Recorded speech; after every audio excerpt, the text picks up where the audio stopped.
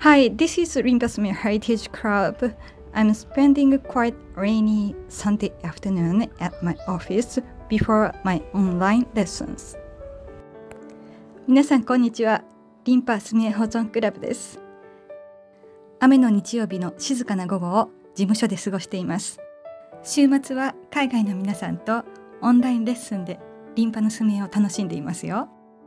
On weekends, I've been enjoying Japanese ink painting with my overseas students at my online lessons.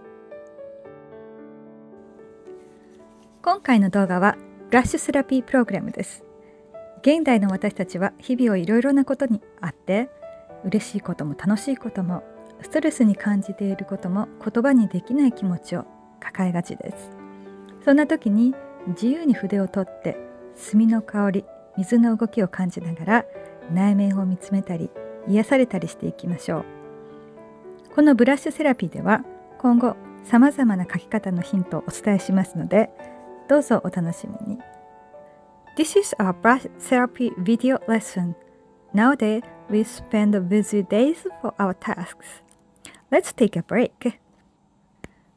Take up a brush and play with ink and water and paper.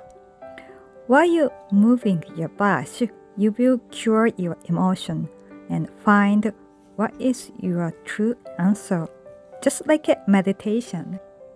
In this video, we introduce you ideas of using ink with water, so please keep watching us. Thank you.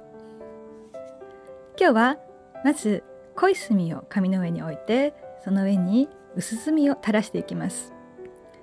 Paint the dots with darkest ink first and then you drop diluted ink on it 紙が水を含んで思いがけない墨のにじみが While water absorb water unexpected ink bootling is made 少し金も加えてみ I added gold too 水のにじみを使って始まりの予感のようなものを描いてみました I painted something like my expectation for the new beginning. 今日はこんなことを覚えてみましょう。最初に濃い墨で書いて。Let's learn this today. We paint shapes with darkest ink first. その後、薄墨で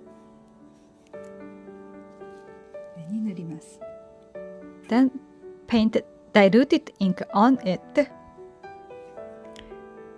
このようにしますと墨があ最初に塗った濃い墨がだんだんだんだん水の中に溶けていって面白い表情が生まれます Automatically we create an expression like something is splashing Let's add more darkest ink while the paper is wet この中にさらに濃い墨を足していきましょう to this challenge. Let's find your emotion as a shape in your surrounded items. 今日は身近なものから今自分がどんな気分なのか丸なのか四角なのか三角なのかそれともお花の形をしているのか